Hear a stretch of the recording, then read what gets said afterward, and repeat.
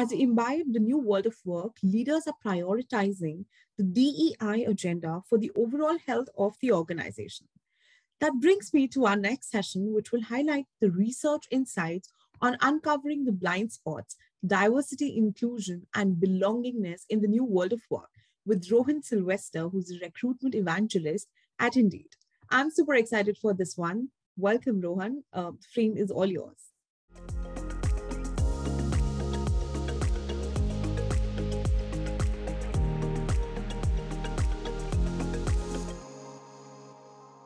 Hello, everyone, and thank you for joining me for this session. Let me first take this opportunity to wish you all a happy new year and hope you're staying safe and healthy. I'm Rohan Sylvester, recruitment evangelist at Indeed.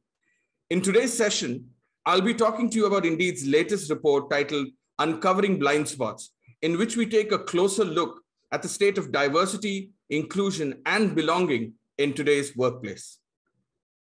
But let me start this session with some pop culture. Many of you here may have watched the popular song Gangnam Style. It is one of the top 10 most popular YouTube videos of all time and has more than 4 billion views. That's like every person in India watching the video three times. But let's imagine that when you found Gangnam Style on YouTube for the first time, instead of looking like this, the video looked like this. What's wrong with this picture? Well, obviously, the video is upside down. You see, when YouTube first launched its video app, the problem, this problem kept happening. And it happened between 5 and 10% of the time. So, what were people doing wrong? Well, it turns out when they analyzed the issue, it revealed a surprising error, not with the users, but with the developers. You see, the team that developed the app were predominantly right handed and based the rotation of the app on the way they held their phones. And they had not accounted for left handed users who would naturally rotate their phones differently when watching a video. Those right handed developers hadn't intended to leave out left handed users. They just hadn't considered another group with a different orientation and experience. What we are seeing in this example is unconscious bias. Unconscious biases are stereotypes or assumptions thoughts and feelings about certain sets of people, things, or groups. These are stereotypes or assumptions that we make outside of our own awareness. And while we encounter this in the larger world, we also find this happening in our workplaces. Biases can result in both negative and positive consequences. Like in the case of the YouTube app developers, their unconscious bias impacted users with frustration and inconvenience over improperly rotating videos, and it impacted the brand, with left handed users feeling that something must be wrong with the app. Some common areas where we find unconscious bias include race and ethnicity, a person's gender identity, how old or even how young people are, or even neurodiversity. This can range from something as simple as a person being a visual learner to someone being on the spectrum, as well as attitudes towards people with disabilities because these biases are unconscious and, and are often hidden within talent acquisition processes, practices, company policies, you've got to actively search throughout every stage to uncover and address them. This can seem quite daunting and challenging. But to solve a problem, you first got to know you have a problem. And this is what we at Indeed India set out to uncover. While the pandemic created widespread awareness and brought about a change in sensibilities we wanted to understand if this awareness combined with new ways of working had created a more inclusive atmosphere in Indian workplaces.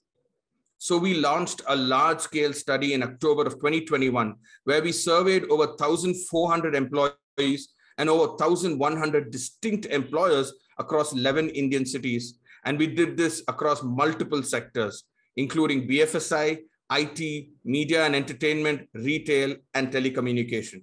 I'm happy to share with you some of the key findings of this study today as we launch our report called Uncovering Blind Spots. First, we sought to answer my earlier question Does bias exist in today's workplace? We asked both employers and employees this question, and we got interesting and, in some cases, disparate responses. Our study showed that employers recognize that many types of biases still exist in their organizations. But what was interesting is that these biases and prejudices significantly differed from those biases noticed or experienced by employees in the workplace. Let's take a moment and look at this slide. Employers perceive that biases exist primarily with respect to gender and sexual orientation, religion, caste and ethnicity, and political ideologies. Unsurprisingly, these are differences that get the most airtime, as in these differences are what people are always talking about in society. But employees felt differently. Employees believe that there are greater biases related to disability status, as well as other areas like age and marital status, economic status, as well as lifestyle and background. I think a lot of us are influenced by the conversations that are happening around us. And this influences what we think is important. This unmistakable difference in opinion between employers and employees brings up the question are your programs really addressing the right biases and prejudices?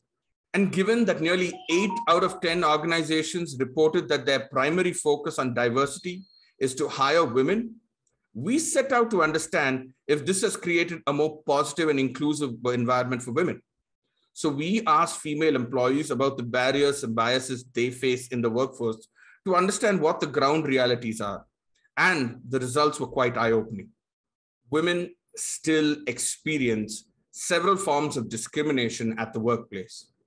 Almost 20%, that is one in five women, experience discrimination or prejudice based on their gender or sexual orientation.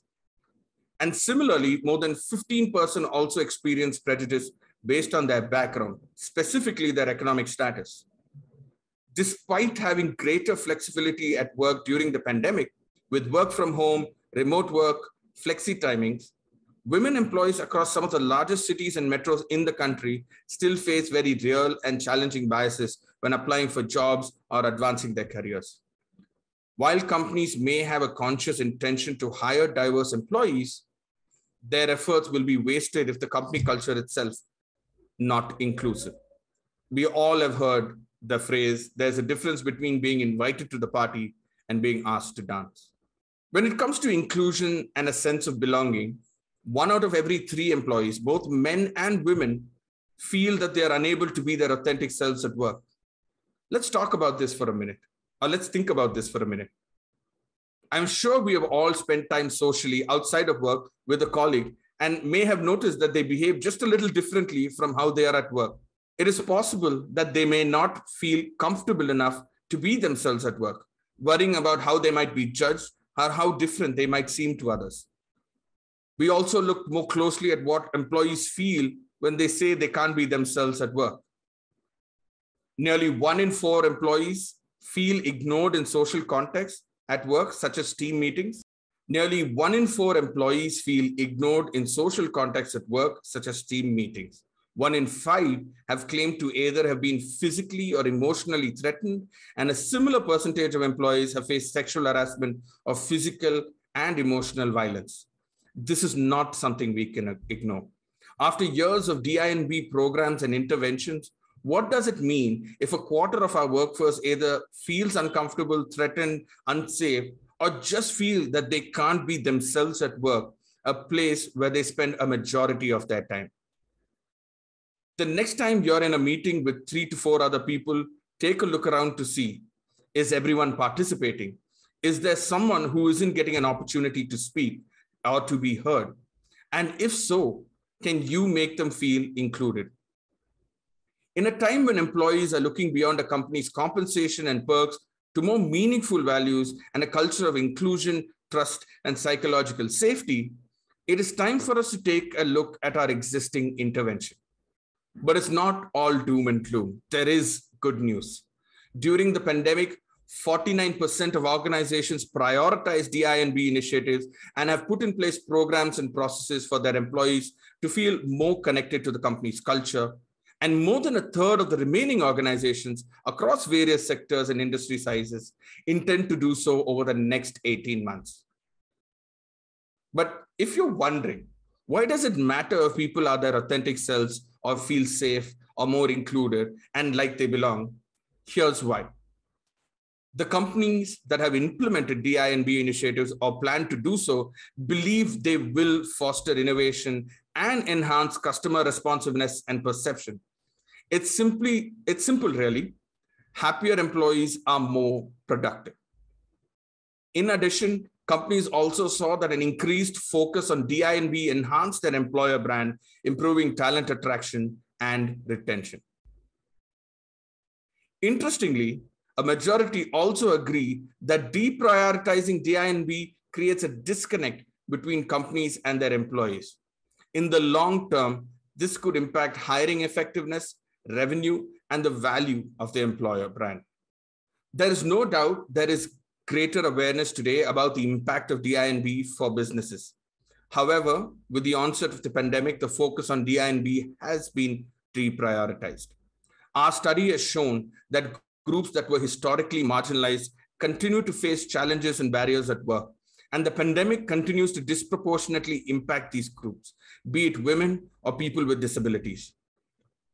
Therefore, there is a need for us to take a step back, reevaluate, speak to employees, and find solutions that can help bridge these gaps.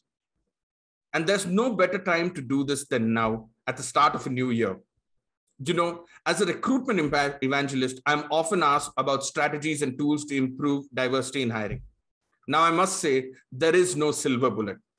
But I say there are a few fundamental things you can do to be more aware of your blind spot one of the most important things you can start doing is start collecting data. Data is powerful, and data can help identify the real barriers that your employees are facing, not the ones we perceive. You can evaluate your existing processes and get feedback from candidates to see what is working and what isn't. You can identify areas for improvement and apply technology thoughtfully to address those issues without reinforcing further biases and barriers and always measure everything you can do. There are many things you can be measuring, including checking out your employer brand on Glassdoor, which has a diversity rating on its company pages. It gives you an idea of what your employees think about diversity at your organization. The bottom line is there is no perfect solution, but you can take steps towards improving your organization's culture, as leaders and decision makers, you can influence the adoption of practices that provide more equitable opportunities for all your candidates and employees. Now, I'd like to say thank you for joining me today. We are happy to help you as you grow towards hiring and building more diverse and inclusive workplaces. You can download a copy of our report at the Indeed virtual booth, or you can also speak to a hiring specialist on recruitment strategies please feel free to fill up the contact form at the Indeed virtual booth, or you could write to us at indiamarketing at indeed.com. That's India Marketing at indeed.com. Thank you.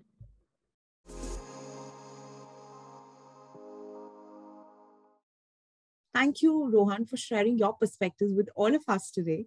You can proceed to the networking lounge and network with the people also, do not forget to check out the expo area for videos and presentations shared by our partners at their booth.